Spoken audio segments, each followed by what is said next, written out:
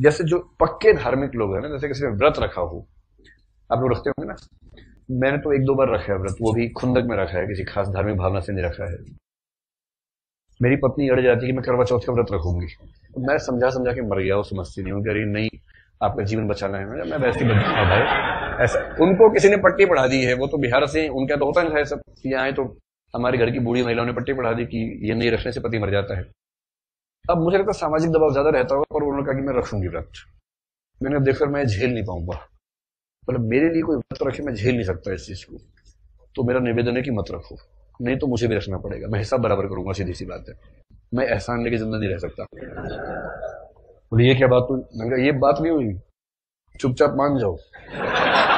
और नहीं तो मुझे रखना पड़ेगा। और मुझे कोई धार्मिक भावना नहीं, तुम्हारी उम्र उससे नहीं बढ़ने वाली, मुझे पता है। उम्र इससे उसी की बढ़ेगी जो फास्ट करेगा, उसका पाचन तंत्र ठीक रहेगा, उसका, उसकी उम्र बढ़ेगी।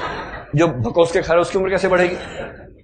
तो नहीं मानी तो मैं भी अड़ गया, मैंने ठीक है, हम भी फास्ट रखेंगे मेरे लिए तो व्रत रखना ऐसा है, आँखों में तैयारी रखते हैं, तितलियाँ चिंगियाँ नीली, मेरा तो वो हाल। मैं केवल छह घंटे भूखा रह पाता हूँ, रात को सोने और उठने के बीच में। उसके बिना मेरे लिए भूखा रहना बड़ा मुश्किल है। मुझे तो हर दो घंटे में ठूसने का मतलब शौक है, आदत है। उसके बिना मेरा काम चल भी नहीं करता है। तो उस दिन उन्होंने पहली बार जब किया ना, बड़े साजो सामान के साथ अपनी सासू माँ को अपने पक्ष में कर लिया।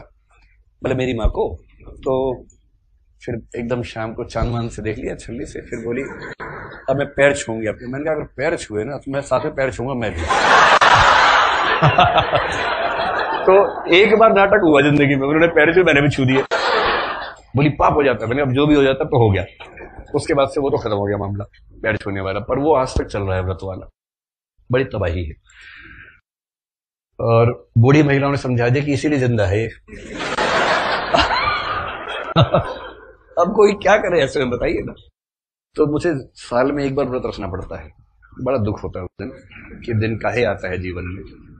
और दुख है, बहुत दुख है इस बात का मुझे। लेकिन बड़ा मुश्किल होता है। उस दिन मेरे मन में कितने ख्याल आते हैं। कोई अच्छा खाना मेरे सामने से लेके गुजर जाए। मन करता मारू कस के भाई पहले आरक करा दे ऊपर से। सुगंधित भोजन कोई लेके जा रहा है।